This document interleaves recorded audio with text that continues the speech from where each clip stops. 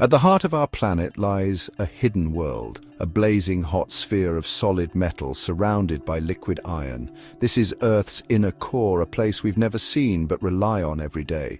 The inner core is a solid ball of iron and nickel, about 1,200 kilometers thick.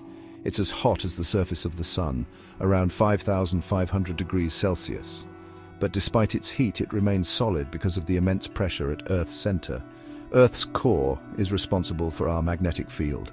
The movement of molten iron in the outer core generates a magnetic shield that protects us from harmful solar radiation. Without it, life as we know it wouldn't exist. The inner core is slowly growing as the outer core cools, adding about a millimeter every year. Over billions of years, this could transform Earth's structure completely.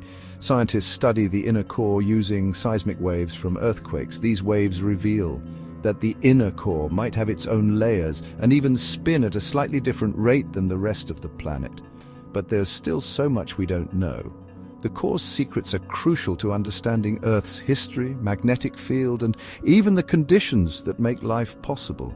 Studying it could unlock answers about our planet's past and future. The Earth's inner core is a fiery enigma, hidden beneath miles of rock and metal. What other secrets might it hold? Let us know your thoughts in the comments and stay curious.